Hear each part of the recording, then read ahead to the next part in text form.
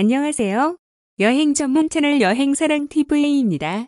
오늘은 여행을 사랑하는 사람들이 여행을 하면서 가끔 과속도 하는데 과속 단속 카메라의 숨은 비밀에 대해서 알아보겠습니다.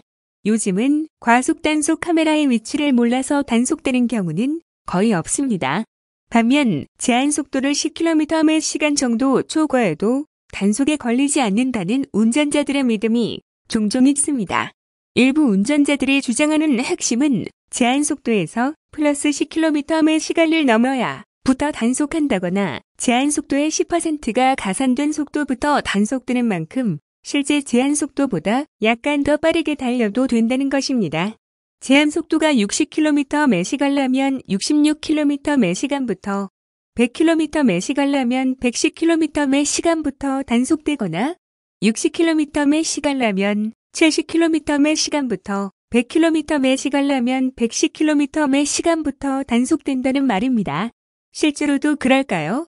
경찰에 따르면 제한 속도가 100km/h 이상인 곳에서는 22km/h, 70에서 99km/h인 곳에서는 15km/h, 60km/h 이하인 곳에서는 11km/h까지 과속하더라도 과속 단속 카메라에 찍히지 않습니다. 다만 구간 단속의 경우 제한 속도에서 10km/h를 넘지 않는 것이 안전합니다. 그러니까 제한 속도가 60km/h이면 71km/h부터 100km/h 이상 구간에 경우 122km/h를 초과하면 단속된다는 말이지요.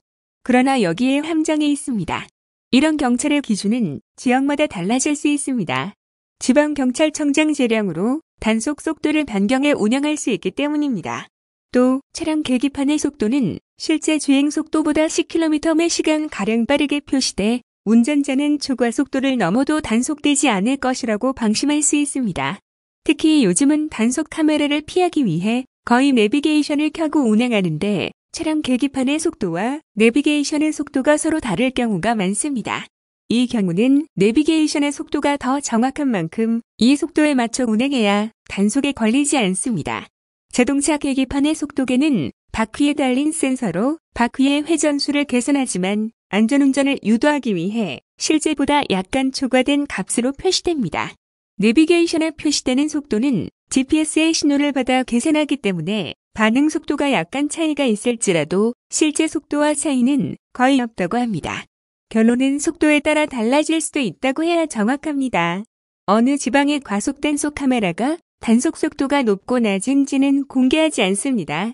차선에 걸쳐 중간으로 운행하면 단속 카메라에 찍히지 않는다는 주장도 있는데 이 또한 상황에 따라 다르다고 할 수밖에 없습니다. 센서를 도로에 묻어 단속하는 곳이라면 경우에 따라 센서가 제대로 작동하지 않아 오류가 발생할 수도 있습니다. 그러나 최근에 설치된 이동식 단속 카메라처럼 적외선으로 탐지하거나 파노라마로 촬영하는 단속 카메라의 경우에는 오류를 기대하기 어렵습니다. 꼼수 운전은 전혀 통하지 않는다는 말이지요.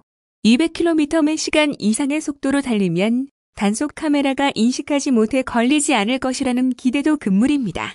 실제 과속 단속 카메라가 인식하지 못하는 속도는 320km/h 이상이라고 합니다. 아무리 용기 있는 사람이라도 목숨 걸고 이 속도에 도전하는 만용을 부리지는 않겠지요. 저속으로 주행해도 단속의 대상이 됩니다.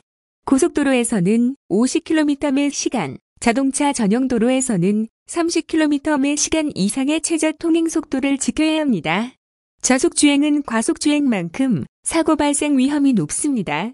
교통 전문가들은 저속 차량들이 많으면 뒤따르던 고속 차량들이 여러 차선을 이리저리 왔다 갔다 하는 이른바 칼치기를 할 수밖에 없게 만들어 사고를 유발한다고 지적합니다. 국내 고속도로와 자동차 전용 도로의 최저속도 제한선을 더 올려야 한다는 주장이지요. 너무 빠른 것도 문제지만 너무 느린 것은 더 문제가 될 수 있습니다. 10% 선이 적당해 보입니다.